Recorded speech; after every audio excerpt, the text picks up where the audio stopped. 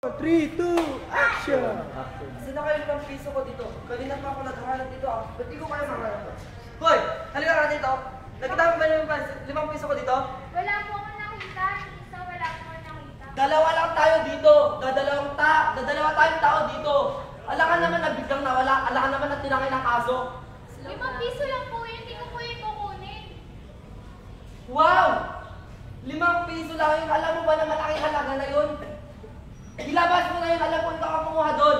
Wala po. Kahit nagkapanyo pa ako, wala. Wala kayong mahanap sa akin. Hindi ko kinuha yun. Ikaw ang kumuha doon. Akong nagpapakain sa'yo. Di mo ba alam na palamunin ka lang dito sa pamamahay na to? Paano niyo po nasabi na ako kumuha? Nakita niyo po ba? Hindi, hindi, ni isa. Wala po ako kinukuha sa inyo. Sino pa bang kumukuha dito eh? Dadalawa tayo. Alam ka naman na yung pusa, yung aso. Ba't ka ba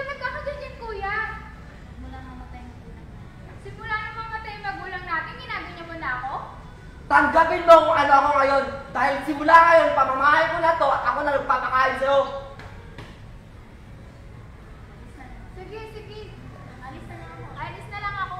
Lumayas ka kung hindi mo lahat ng mga gamit ko at wag na wag kang babalik dito at hihingi ng tulong. O talaga, alis ako. Cut. Hey, cut. Galing, galing.